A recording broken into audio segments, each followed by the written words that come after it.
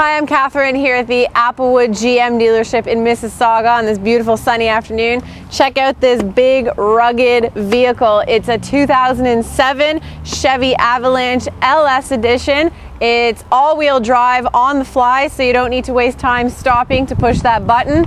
Take a look on the inside. It's got a lot of space for a pickup truck.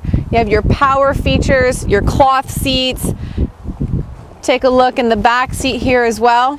Also seats three people in the front as you can see and that middle console folds down so you can put your drinks in if you like. Same thing in the back. Seats three, but here you can pull this guy down and you have your handy little cup holders for you. Perfect. Come on to the back. I'm gonna open this and a lot of space back here. You know, you have a couple cup holders here. If you you want to pull up the side of a country road, lay a couple towels down, and suntan if you want, you know? Here we have a secret little compartment at the side. It has a lock on it as well, so you can put valuable things in here if you like.